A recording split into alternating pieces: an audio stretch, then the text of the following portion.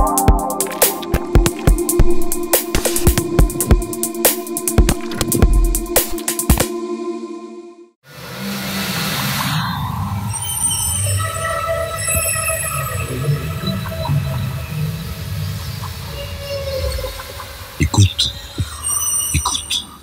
Bonjour, mon invité aujourd'hui est Luis Martinez, directeur de recherche euh, au CERI, qui vient de publier euh, L'Afrique du Nord après les révoltes arabes aux presses de Sciences Po. Luis Martinez, bonjour. Bonjour. Alors donc effectivement, après euh, ce soi-disant printemps arabe de 2011 qui a fini de façon très contrastée, peut-on dire qu'il y a un mouvement général aujourd'hui dans l'Afrique du Nord? Alors, il n'y a pas forcément un mouvement général dans l'Afrique du Nord, parce que l'intensité est très différente de ce qui s'est passé en Libye par rapport à la Tunisie, voire au Maroc. Mais ce qu'on peut constater aujourd'hui, c'est qu'il y a, disons, euh, après ces printemps arabes, il y a une, onde, disons, euh, euh, secondaire un petit peu, qui cherche à remettre en place les sociétés civiles au cœur du débat politique, au cœur du dispositif politique. Ce que vous mettez en avant, c'est que dès la, décennie 60, en fait, le, débat est tranché dans toute l'Afrique du Nord. On va plutôt euh, favoriser les régimes autoritaires, euh, plus, seuls capables de, du développement économique au détriment d'un système plus démocratique. Alors, dans les années 60, c'est pas spécifique à l'Afrique du Nord, mais c'est clair que ce qui domine à ce moment-là, c'est la croyance que le développement économique, euh, la, la formation de l'État, la consolidation des institutions nécessitent euh, disons, euh, des régimes considérés comme autoritaires, et on a toute une série, disons, de, de travaux à ce moment-là qui viennent montrer les avantages comparatifs d'une d'une voie, disons, autoritaire ce qui est intéressant, c'est que durant la même période, on a en Afrique du Nord déjà des mouvements de contestation politique, civile, qui, eux, appellent, euh, se mobilisent autour de régimes politiques beaucoup plus pluralistes, on peut pas dire démocratiques, mais à ce moment-là, des gens pluralistes. Et c'est vrai qu'ils vont être relativement peu écoutés, très vite marginalisés, et certains, euh, disons-le, un peu... Euh, euh, voilà, emprisonné, mis de côté, etc. Parce que la, voie qui va être, euh, disons, considérée comme bonne euh, sera celle de ces dispositifs autoritaires. On va y croire dans les années 70-80, et puis on va très vite déchanter à partir des années 80, parce qu'on va se rendre compte que finalement, le succès économique n'est pas au rendez-vous, euh, la croissance est quasi euh, nulle dans la région, euh, les progrès en termes de,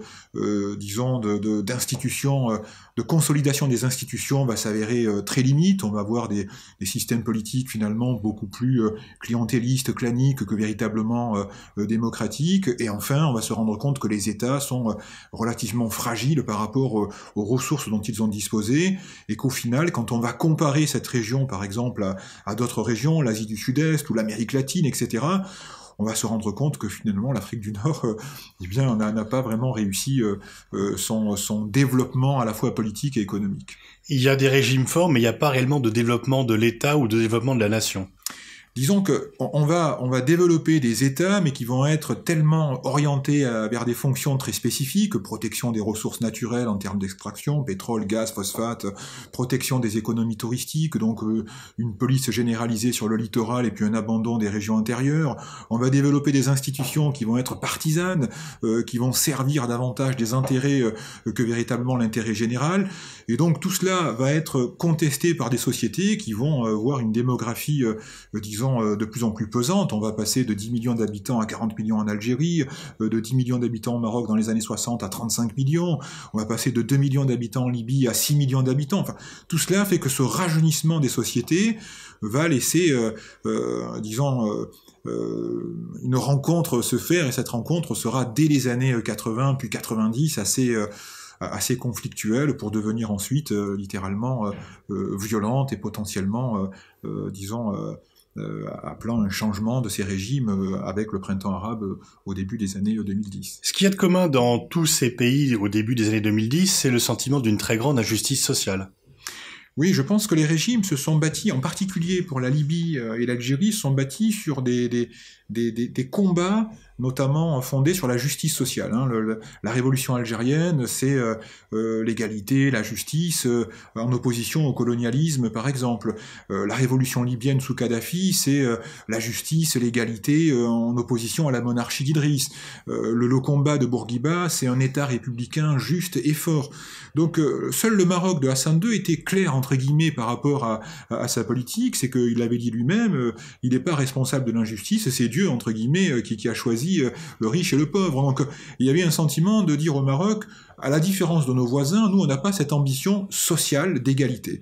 Euh, les trois autres pays avaient ces programmes-là, et, c'est vrai que à partir des années 80, les écarts de richesse, le sentiment d'injustice, à la fois individuel et territorial, parce qu'on va bien se rendre compte qu'il va y avoir des régions privilégiées par rapport à d'autres, des secteurs touristiques avantagés par rapport à d'autres, et bien tout cela va nourrir ce sentiment d'injustice euh, qui va trouver des formes d'échappatoire à la fois dans les mouvements islamistes des années 90, puis dans les mouvements civils et démocratiques des années 2010.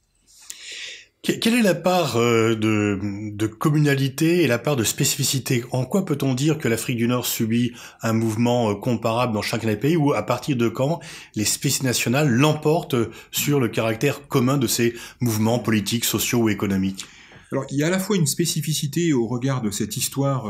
euh, à la fois coloniale, française pour le, trois pays d'Afrique du Nord, italienne pour la Libye. Il y a une spécificité aussi par rapport à ce, ce projet à la fois euro-méditerranéen qui était de, euh, pour beaucoup d'élites euh, de l'Afrique du Nord, l'Europe était une perspective potentiellement réaliste. On considérait que, euh, en faisant des efforts, on pouvait se rapprocher de, cette région-là et, échapper à devenir cette banlieue sud de, la Méditerranée, mais être peut-être dans le cadre d'une politique européenne beaucoup plus généreuse, ouverte et inclusive, et eh bien euh, un peu ce flanc sud de cette Union européenne. Euh, et en même temps, il y avait euh, des mouvements très généraux qui faisaient qu'on avait une démographie qui avait rajeuni la population, des mouvements de communication et de médiatisation plus importants, une circulation des populations beaucoup plus forte hein, donc, euh, que dans les années 70-80 et qui faisait que l'Afrique du Nord était comparable à d'autres grandes régions avec les mêmes types de problèmes, intérêt général pas au rendez-vous, des États incapables de satisfaire un certain nombre de besoins élémentaires, des entreprises privées qui n'arrivent pas, entre guillemets, à, à ruisseler on va dire, et à produire euh, de la valeur ajoutée euh, pour les salariés. Donc tout cela fait que l'Afrique du Nord est très comparable à d'autres pays en crise également. Mais on avait euh, cette ambiguïté en Afrique du Nord de considérer que les efforts que l'on pouvait faire pouvaient avoir un débouché, disons, euh, dans un espace euro-méditerranéen. Et il est vrai que la crise européenne, par exemple, à partir de 2008, le traitement infligé à la Grèce va faire réfléchir plus d'un Nord-Africain, en se disant, mais euh, euh, avec une vision comme celle-là de l'Afrique du Nord, si, si, la Grèce est traitée comme cela, mais, mais comment nous, nous serions traités dans le cadre de cette Union européenne? Et on va voir qu'à partir de là, cette perspective va vraiment partir euh, très loin. Et d'ailleurs, il y a un rééquilibrage aujourd'hui de l'Afrique du Nord vers sa géographie africaine. Le Maroc a une politique africaine extrêmement forte, l'Algérie s'y remet, les Libyens ont disparu euh, sur le plan diplomatique, mais reviendront sans doute, y compris la Tunisie, qui avait quand même un prisme euro, euh, très fort, s'interroge sur... disons, ce type de perspective aujourd'hui. Et je crois que tout ça fait qu'il y a à la fois une spécificité et en même temps une, généralité de cette région-là comparable à d'autres régions dans le monde connaissant euh, ce même type de problème. Alors après deux chapitres généraux, vous rentrez dans une série de chapitres nationaux. Le premier est consacré à la Tunisie. Il est intitulé Du spectre de la guerre civile au compromis démocratique. Est-ce que vous confirmez l'idée que la Tunisie est l'exception heureuse pour l'instant du printemps arabe et qu'il y a une démocratie réellement consolidée? Alors la Tunisie, euh, c'est vrai que pour les, disons, elle est l'objet d'un certain nombre d'attentions particulières parce que en effet, dans ce printemps arabe, elle est le, c'est le seul État qui a su finalement euh, mettre en œuvre euh, une transition au sens euh, où on l'entend, c'est-à-dire finalement un changement de régime pacifique avec des compromis entre un certain nombre d'acteurs pour valider des élections relativement libres, disons, depuis un certain nombre d'années. Donc pour certains c'est une exception, pour d'autres c'est une anomalie, pour d'autres c'est une particularité. Donc je pense qu'il nous faudra un peu plus de recul pour voir finalement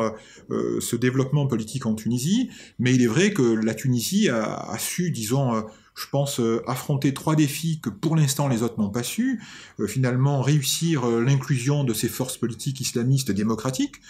et c'est quand même, ça peut paraître évident, mais beaucoup ont échoué à le faire. Hein, faire en sorte qu'un parti comme Ennahda, lui-même conscient de l'enjeu historique qui est à qui à l'œuvre, eh bien fait son propre, disons, sa propre réforme et intègre un État civil qui a des ambitions démocratiques, disons à ce niveau-là. Donc c'est pas pas négligeable Deuxièmement, une société tunisienne qui va prendre la mesure du fait qu'il y a dans cette société des forces qui appellent à la destruction de la nation et de l'État, des forces djihadistes qui ont d'autres formes d'ambition, disons des ambitions de type État islamique, Émirat islamique, force pan-islamique, peut-être minoritaire mais extrêmement nuisible et, et difficile à contrôler dans le cadre d'une lutte démocratique contre ces types d'organisations, parce que dans un régime autoritaire, c'est plus facile d'emprisonner euh, tout le monde, euh, y compris ceux qui sont seulement suspectés. Dans un régime démocratique, combattre ces forces-là, euh, c'est pas évident. Hein. Combattre le terrorisme pour la Tunisie, c'est un véritable défi dans le cadre d'institutions démocratiques. Et troisièmement, arriver à faire en sorte que la classe politique tunisienne euh, réussisse. Ce que l'Algérie avait échoué par exemple, euh, c'est-à-dire finalement à ne pas construire un bouc émissaire national, que ce soit l'État ou tel parti ou telle armée ou telle force de police, mais faire en sorte qu'on comprenne que les uns et les autres sont partie prenants euh, de cette transition et qu'on arrive donc à ces compromis qui peuvent frustrer une grande partie de la majorité des acteurs, mais qui sont le socle pour faire vivre la totalité des acteurs. Ah, jusqu'à quand ces trois réussites pourront tenir par rapport euh, aux difficultés économiques? On souffre, le tourisme reprend un peu, mais il est loin quand même. Enfin, ce n'est pas tout à fait cela. Il n'y a plus l'argent libyen qui vient du fait euh, et les investissements euh, étrangers n'ont pas suivi les félicitations politiques. Jusqu'où la démocratie tunisienne est menacée par l'atonie économique? C'est vraiment la question la plus pertinente sur l'avenir de la Tunisie, c'est parce qu'on se rend bien compte que euh, une économie qui n'arriverait pas à satisfaire euh, euh, finalement une société en termes d'emploi, de logement, de, de, besoins alimentaires, de sécurité énergétique, etc., risquerait très vite de voir déraper cette consolidation démocratique. c'est même surprenant, pour ne pas dire euh, euh, infligeant, de, de voir comment, euh, du point de vue européen ou du point de vue des États-Unis, pour citer ces, deux grandes régions-là, on, ne mesure pas le, danger de l'effondrement économique tunisien. Et pourtant, on a des rapports aujourd'hui qui, qui, le mettent clairement en avant. si la Tunisie n'arrive pas à, modifier son modèle économique traditionnel, qui était tourisme, services et un peu d'agriculture, qui, ne répond pas aux besoins réels de la Tunisie globalement, euh, on risque d'avoir en effet euh, une très forte déstabilisation à partir de mouvements sociaux. Euh, aujourd'hui, la Tunisie est félicitée pour sa transition politique, mais n'est pas soutenue pour sa transition économique. Et, pourtant, c'est sans doute le point le plus faible aujourd'hui de l'avenir et, quel serait l'avenir euh, pour, en dehors de ces trois secteurs traditionnels, services, tourisme et agriculture, vers quoi la Tunisie pourrait tendre? On pourrait déjà imaginer, comme on l'a fait avec d'autres pays, des, des, avantages comparatifs en termes de formation, en termes d'investissement, de, fiscalité, de délocalisation, euh, des, des, aides à, des secteurs d'avenir. Des... Je, je, pense qu'on ne mesure pas le fait que la Tunisie est aujourd'hui fragile sur le plan de son économie et que si on ne prend pas la mesure de, sur les 10, 15, 20 années à venir d'aider de, cette société tunisienne a trouvé euh, un mode économique beaucoup plus pertinent le, pour le 21e siècle, faire en sorte que cette Tunisie, voilà, on peut très bien imaginer, des, Tunisie se compare à un certain nombre de pays, il y a des rapports un peu farfelus parfois où on, parlait de modèle scandinave en Tunisie, je ne dirais pas jusque-là, mais, mais, la Tunisie peut voir ce que fait le Portugal, euh, peut voir ce qu'a ce ce réussi euh, la Tchéquie, peut regarder ce qu'a fait un certain nombre de pays, la Slovénie, où on voit bien que ces pays sont partis avec des bases extrêmement fragiles euh, et faibles économiquement, mais ont su très vite bénéficier des avantages comparatifs, géographiques, humains, etc., diplomatiques, qui amènent aujourd'hui ces pays à être relativement, je dirais, confiants sur un certain nombre de choix économiques qu'ils ont réalisés. Deuxième pays que vous étudiez, la Libye, euh, la Libye où en fait on est passé d'un État fort à euh, des milices toutes puissantes. En fait, on, est passé euh, d'un État milicien à des milices sans État. Hein, il faut vraiment la Libye de Kadhafi, c'était un État milicien. C'était vraiment l'armée nationale en tant que telle avait été déjà profondément marginalisée dès les années 90, et puis c'était davantage des forces paramilitaires qui qui structurait, euh, disons, le paysage sécuritaire de ce pays. Euh, L'État libyen ayant été, euh, disons, renversé, détruit, eh bien, restent les forces paramilitaires qui vont apparaître comme les forces les plus sécurisantes pour les communautés qui composent la Libye d'aujourd'hui. Et, on voit bien qu'aujourd'hui, l'enjeu, c'est d'arriver à reconstruire, disons, non seulement un État, mais également des forces nationales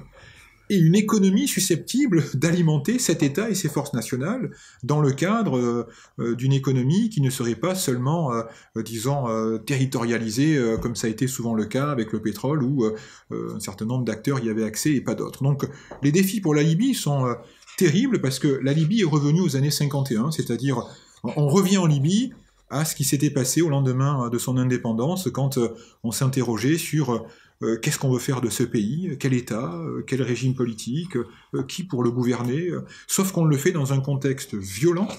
avec une ingérence régionale extrêmement forte de, pays, disons, aujourd'hui considérés comme ces nouvelles puissances régionales, et dans un désintérêt majeur de la communauté internationale, à l'exception, disons, de, notre euh, disons, euh, collègue et ami euh, Hassan Salamé cherchant par tous les moyens, sous mandat des Nations Unies, à, faire dialoguer les différentes forces libyennes, on voit bien que bah, la Libye n'est plus dans le paysage politique. Et vous êtes clairement en guerre optimiste pour l'avenir immédiat de la Libye. Bah, disons que ce qui est inquiétant, c'est que ce qui est en jeu aujourd'hui, c'est que on a une, une, guerre de fait qui s'est installée, et, on ne voit plus comment parvenir à faire sortir les acteurs de cette guerre-là, tant euh, les intérêts des uns et des autres font que les compromis semblent difficiles. Alors on peut imaginer euh, des tas de scénarios possibles, mais réellement, dans les faits, euh, on a du mal à voir sortir une issue politique, disons, dans les, les, mois ou les années à venir pacifiques. Passons au Maroc. Vous, vous soulignez le caractère paradoxal de, ce pays en parlant de son potentiel révolutionnaire énorme et en même temps d'une très grande stabilité. Alors le, potentiel révolutionnaire, euh, moi j'ai été surpris aussi en étudiant attentivement la littérature sur le Maroc des années 60. Ben, dans les années 60, le Maroc était considéré comme le pays le plus euh, doté en termes de potentiel révolutionnaire. On, imaginait quasiment chaque année que ce pays allait s'effondrer. On disait, voilà, il tiendra jamais la route parce que euh, cette monarchie est tellement faible, ce roi est tellement euh, à côté de, de, ce qu'il doit faire, cette société est tellement éclatée, euh, ces régions sont tellement antagonistes, son économie est si faible que finalement, comment tenir dans une situation pareille Et, c'est vrai que ce potentiel va rester, disons,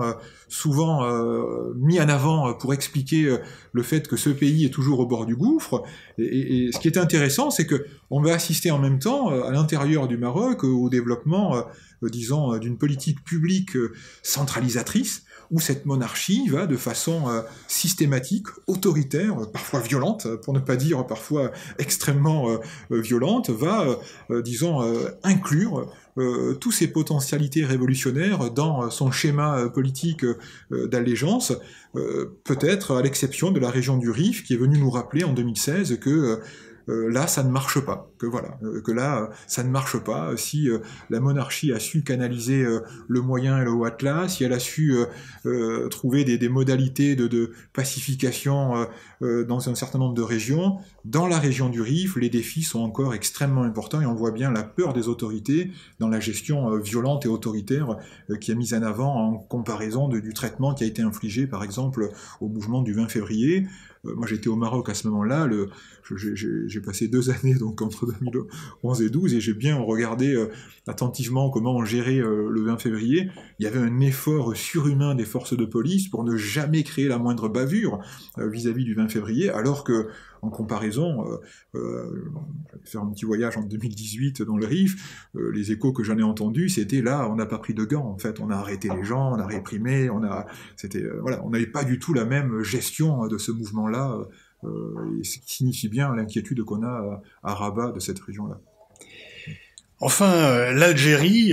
vous titrez votre chapitre, une société en guerre contre elle-même. Donc où, où en est le, le Irak et par rapport aux échéances prochaines des élections, est-ce que vous pensez que euh, le mouvement a gagné ou est-ce qu'il a perdu? Je pense que le mouvement a gagné, mais il a surtout fait gagner l'Algérie dans la, le fait qu'il a apporté, euh, je pense, trois éléments euh, qui, à mon avis, seront extrêmement difficiles à, enlever pour l'avenir. Premièrement, il a replacé la société civile au cœur du débat politique, c'est ce qui est quand même énorme par rapport aux 20 Alors que tout le monde pariait sur son atonie totale et sur sa disparition, Totalement. son, euh, inhibition plutôt. Donc du coup, il a, il a, il a fait un travail considérable de, de, remettre cette société civile au cœur du débat politique. Donc on reconnaît l'Algérie finalement des années 80-90 où il y avait une ébullition, une effervescence à partir des années 86 jusqu'à grosso modo 91, on avait cinq années quand même en Algérie de très forte ébullition civile. Deuxièmement, il a démontré une dimension organisationnelle qui fait aujourd'hui, je dirais, euh, qui sert d'exemple et de modèle à beaucoup de pays arabes, être capable d'organiser comme cela des événements pacifiquement euh, euh, dans les grandes villes de l'Algérie, sans aucun heurt, sans aucune violence, sans aucune casse. On, a aujourd'hui des échos élogieux, que ce soit en Égypte, au Maroc ou ailleurs, disant mais Vraiment, c'est extraordinaire ce qu'arrivent à faire ces Algériens à ce niveau-là. Et puis, troisièmement, ce mouvement a réussi à dire que ce qu'on disait grosso modo depuis 30 ans, c'est que ça ne marche pas, cette économie algérienne, ce système politique, mais là il le dit avec une telle force qu'il oblige les acteurs politiques algériens traditionnels et loyaux à l'État, eh bien finalement à prendre la mesure que cette économie pétrolière algérienne, c'est une illusion euh, monumentale, c'est d'une certaine manière, c'est une... Euh, euh, c'est une farce économique de faire croire qu'un pays est riche parce qu'il a un sous-sol riche si on n'est pas en capacité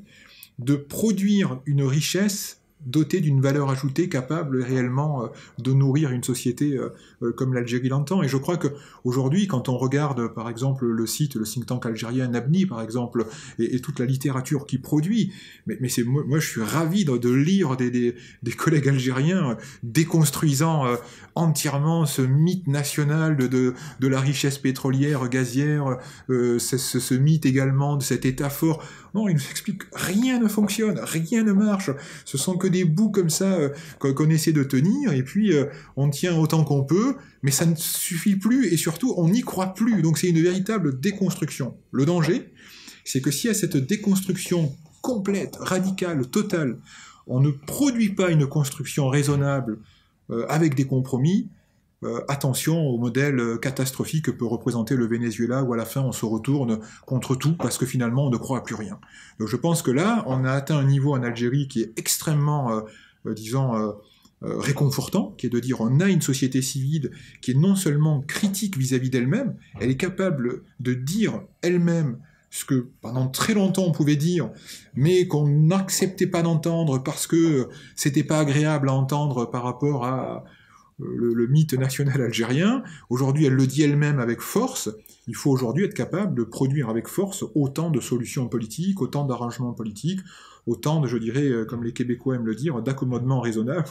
pour arriver à faire en sorte que cette transition euh, soit effective. Mais est-ce que la grande faiblesse du mouvement n'est pas d'avoir ne, ne, pas avoir su dégager ses propres leaders et de se retrouver euh, face à un choix présidentiel dans lequel ils ne s'en connaissent pas, mais d'avoir pas su eux-mêmes en, en, faire émerger? Alors je crois que c'est la force et la faiblesse du mouvement. Sa force, c'est un petit peu de dire on ne se fera récupérer par aucun mouvement politique. Euh, la faiblesse, c'est que du coup, il n'y a aucune représentation politique institutionnelle. Moi, il me semble que le Hirak ne joue pas l'agenda politique euh, euh, constitutionnel, qui consiste à jouer les élections, etc., mais considère qu'il est là maintenant pour irriguer les forces politiques à venir euh, afin de faire en sorte qu'elle s'imprègne des réalités socio-économiques de ce pays, et sans doute que les autorités algériennes, avec ces élections présidentielles organisées et relativement euh, quand même euh, cadenassées à, venir,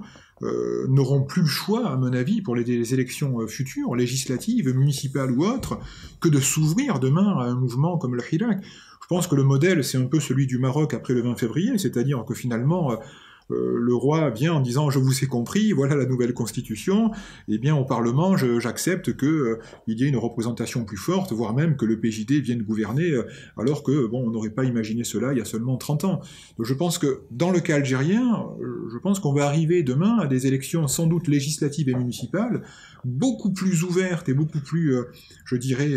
transparentes que ce que l'on a connu ces, ces 20 dernières années sous Abdelaziz Bouteflika. Ça ne répondra sans doute pas entièrement à ce que attend le Hirak, mais ça offrira sans doute les bases, je pense, d'une meilleure compréhension entre les intérêts d'une armée, qui, me semble-t-il, n'est pas prête à, disons, à s'auto-dissoudre politiquement et à rejoindre les casernes comme le demande le Hirak, mais en même temps à comprendre qu'il y a euh, des intérêts militaires et des intérêts politiques et civils qu'ils doivent trouver des compromis pour ne pas refaire la même erreur que on avait faite en Algérie au début des années 90, où euh, le fils, fort de son soutien populaire, pensait qu'il pouvait amener un changement de régime et, euh, comme il entendait, sans trouver des compromis avec cette armée qui le voyait comme une, une menace, comme un ennemi, et non pas comme un partenaire politique potentiel, alors qu'on voit bien aujourd'hui que un certain nombre de partis islamistes au Maroc, en Tunisie, au Soudan, etc., jouent le jeu institutionnel, ont donné des garanties euh, à la monarchie, à l'armée, à l'état civil, pour justement euh, euh, ne pas provoquer des forces réactives qui amèneraient à des guerres civiles. Merci Luis Martinez. Je renvoie à la lecture de votre livre L'Afrique du Nord après les révoltes arabes. Ça vient d'être publié par les presses de Sciences Po.